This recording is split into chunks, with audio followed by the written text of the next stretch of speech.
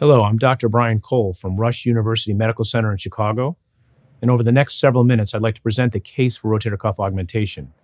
We know that rotator cuff tears have a significant economic impact on our healthcare system. In 2021 alone, there will likely be more than 500,000 rotator cuff repairs performed each year. This accounts for at least $5 billion per year in medical costs, benefits, and lost productivity. Despite improvements in biomechanical repair constructs, anatomic failure remains common with incremental costs and disability associated with that failure. So, our thesis is that the use of an extracellular matrix augmentation at the time of primary rotator cuff repair is economically cost effective and improves clinical outcomes and healing rates. Now, rotator cuff tears occur due to multifactorial etiologies. Re-tears are associated with reduced strength, satisfaction, and revision surgery. And the role of extracellular matrix augmentation is to augment the initial repair construct to improve the mechanical strength and provide additional biology in an already biologically challenging environment to enhance the repair, ultimately leading to anatomic intact state at one year follow up or more. The economic impact of graft augmentation at the time of rotator cuff repair does pose a significant upfront cost, and we need to ask ourselves is it cost effective and where does it actually make sense? As part of this thesis, understanding why rotator cuff tears happen is actually pretty important. Certainly, a subset occurs through traumatic etiologies, and that may involve more healthy tissue, but what's more common is atraumatic rotator cuff tears. And the intrinsic theory really supports the fact that there are age related decreases in vascularity. We see chronic degenerative changes, collagen disorganization, fatty infiltration, myxoid degeneration. All of these things eventually lead to rotator cuff tears. There are a number of biologic challenges associated with rotator cuff disease age, chronicity, the number of tendons involved, the vitamin D status of a patient, bone density, history of smoking, diabetes, or inflammation. This speaks to the fact why re-tears actually happen. We have deteriorating biology. Every decade of life, we see more and more rotator cuff tears. Suffice it to say, improving the environment at the time of rotator cuff repair actually may make sense, especially when some of these comorbidities exist. What we're trying to achieve is enthesis regeneration. This is basically the tendon to bone interface with fibrocartilage repair. Unfortunately, what we get is often reactive scar tissue and a failure to develop the mineralized fibrocartilage matrix associated with the normal enthesis. It probably happens because we see inflammation and fibrosis rather than true tissue regeneration. All of these factors lead to the weak link and ultimately probably relate to how re-tears happen at long-term follow-up. Now, the incidence of re-tears ranges between 0 and 95%, and the majority have happened in the first six months.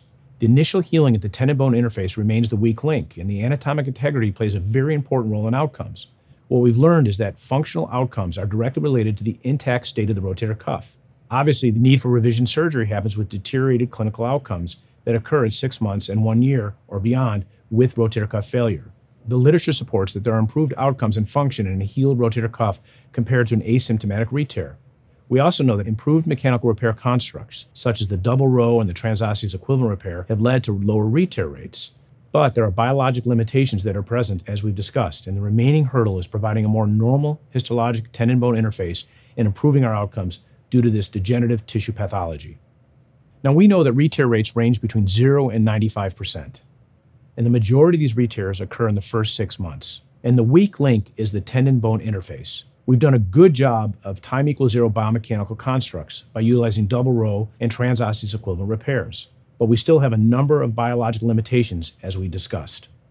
So the premise is that we can augment our repairs with extracellular matrix patches, and that increases the mechanical strength of the initial construct based upon what we know in the literature. It also improves the biologic environment by improving intrinsic properties of the healing bone tendon unit. Today, dermal allografts are the most commonly used. They are associated with the greatest biomechanical properties, they are bioinductive, and they improve the biologic incorporation of the tendon bone interface. We also know that long term incorporation occurs into the host tissues, increasing thickness and strength of the ultimate repair. In essence, extracellular matrix augmentation has led to lower re-tear rates and improved outcomes. In this canine study, the authors looked at 32 shoulders split into four groups and evaluated them at six months debridement, amniotic matrix, human dermal allograft, and bovine collagen patches. And basically, the take home was that human dermal grafts looked the best by MRI and histopathology.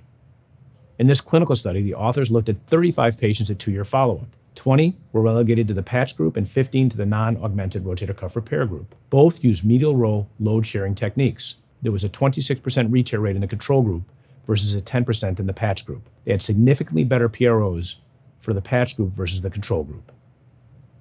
Now, the economic burden of rotator cuff repair is significant.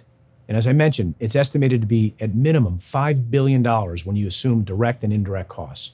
Direct costs are the hospital and the surgeon fees, and they range between $7,500 and $13,000 per rotator cuff repair.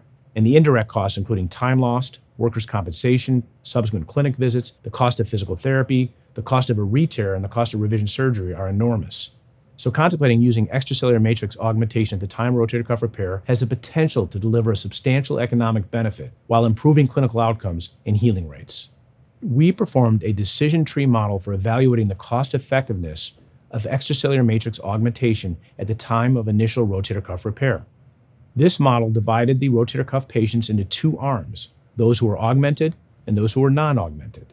And then each treatment arm was further divided into those that healed those that had asymptomatic re-tears, and those that had symptomatic re-tears. We also calculated arm transition probabilities that were pooled based upon information in the literature.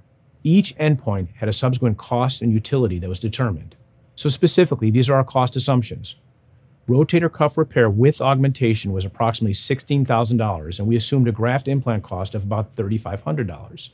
The cost of rotator cuff repair without augmentation was estimated to be about $12,500, that would be the same cost of revision rotator cuff repair without augmentation. These are numbers that are well established in the literature.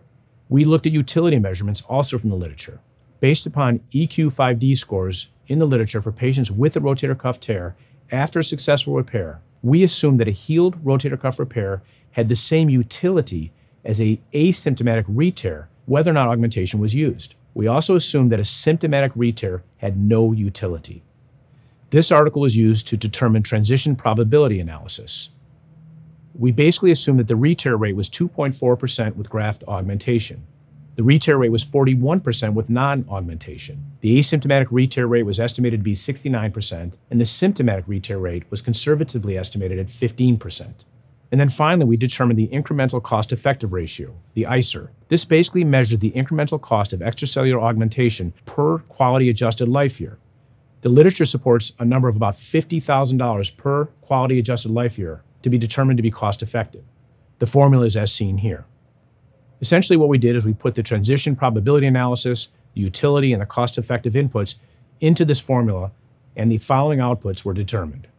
The results of our decision tree analysis are as follows.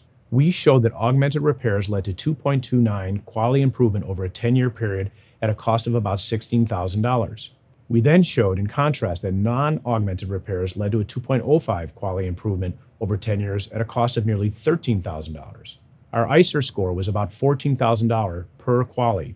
That's well below the cost effectiveness cutoff of $50,000 that's been determined in the literature. This led to our conclusion that rotator cuff repair using extracellular matrix augmentation is cost effective based upon our decision tree analysis. We then performed a sensitivity analysis.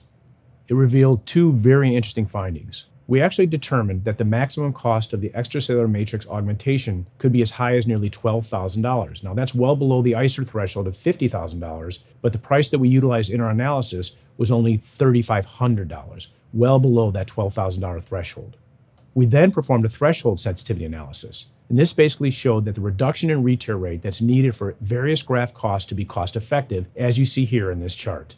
So these are the conclusions from our analyses in our study.